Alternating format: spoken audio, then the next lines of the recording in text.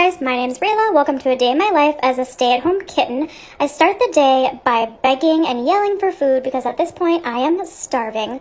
But my mom walked very slowly to put this food in my bowl. After I finally ate, I decided to play with my sister's tail and annoy her while she ate.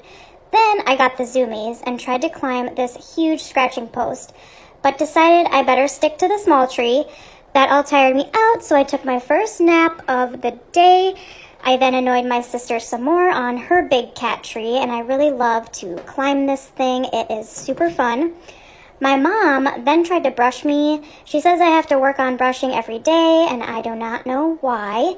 I got tired from that, so decided to cuddle with Nala for another nap. I then discovered this cat tree and tried to jump in it, but I didn't really like it because it moved. We got some treats, and the only bad part was is that I did have to share with Nala. I ended my day on my favorite scratching post, enjoying the sun.